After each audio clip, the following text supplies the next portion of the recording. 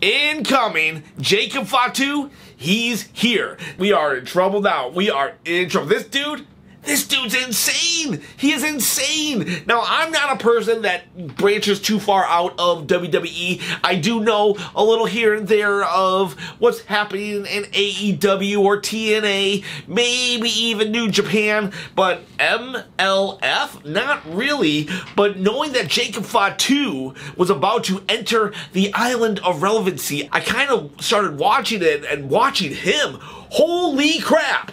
Holy crap, I'm putting a bunch of B footage, B roll as I talk, and this guy's insane. Oh my gosh, I don't think WWE is gonna really let him do all of these moves on a regular basis, but like, he'll probably pull them out for the pay per views and stuff, and this guy's big.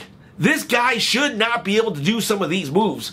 Oh man, this guy's crazy. This guy is insane what he can do. He's like Umaga and uh, Jeff Hardy. I saw that comparison and it was kind of right because I saw him do this like Swanton bomb and Umaga was crazy. I loved Umaga. Bow Samoa! Bow Samoa! Went to WrestleMania 23 in Detroit. That's when I was living there.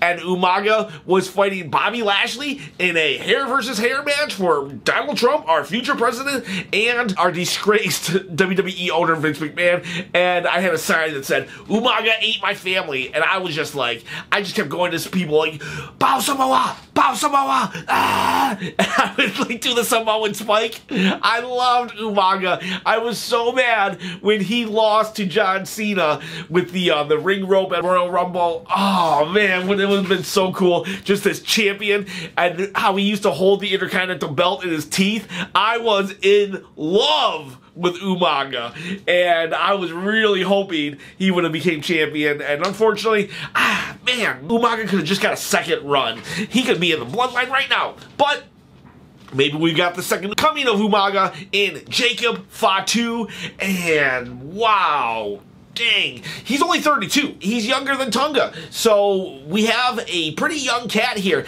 and he kind of reminds me of how the Usos were. Maybe a little bit. Now, no shade, no shade, because I'm going to say I'm fat, all right? I am overweight. And I remember the Usos, they seemed to be like they were in great shape, but they were a little on the pudgier side when they first started. And now look at them. Now they're lean, they're mean, they're Uso machines. And I think Jacob Fatu might fall in that category. You watch. Jacob Fatu is about to enter the picture. I bet within two to three years, this guy is slimmed down like, man, jeez, if he can do these moves now at this weight, what can he do when he loses 50, 60 pounds or he he he uh, reshapes it to uh, muscle.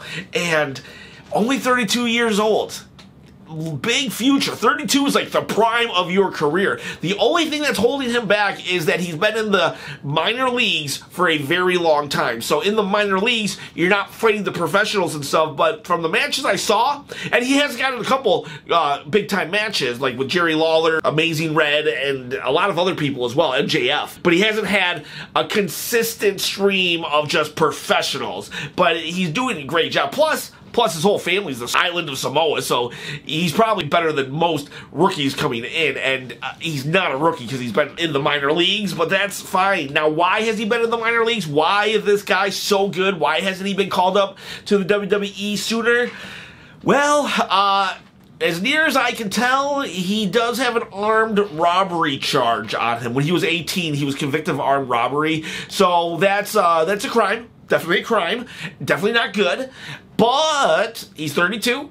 He's had what? That's uh, 24 years to reconsider. I guess when he was like, you know, in the midst of his um, fighting his demons, he saw his brothers or his his cousins, the Usos, and they are the ones, you know, kind of turned his life around. He was like, you know what? I want to be like them. But hey, before you judge and throw some stones, Booker T was also in trouble. Yeah, yep. Booker T, MVP. These guys were also in trouble, turned their lives around, and wrestling was an avenue for that. So, you know what?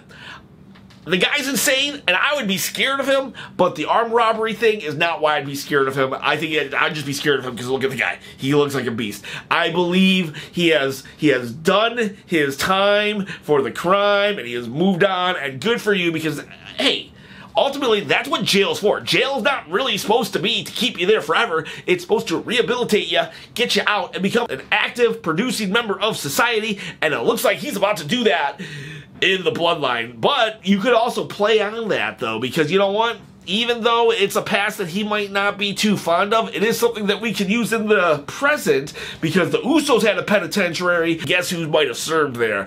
We've got now Jacob Fatu coming out of the Uso penitentiary and going into the Bloodline 2.0. This is what the Bloodline needs. I've been looking at Solo Sikoa and even Tama Tonga. At first, it was great. Tama Tonga, he looks like a pit bull, just uh, and it was great. But now watching watching the last couple Smackdowns where they're just basically at equal footing with RKO and KO, it's like I don't know. I don't know. It just feels like if Roman was here, he would have destroyed them. He would have left them in his wake, holding up the, the belt and being like, Wise man, let's go acknowledge me.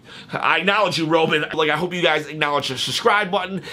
Ah, uh, yeah. So I'm just really pumped that this guy is here. I hope you enjoyed this video. This is a little appetizer of who Jacob Fatu is. This is an introduction to Jacob Fatu. Look at those moves that he was doing. Insane. This guy's going to add a lot of value. He's 32. Nowhere to go but up here. I'm so glad that he was able to turn his life around and welcome to the big leagues. And and yeah, Jacob Fatu, I'm very excited to see what you got. I will acknowledge you too, Jacob. I will acknowledge you too, Mr. Fatu, and hope to see what you bring to this era of the Bloodline. Have a good day, guys. Have a good day.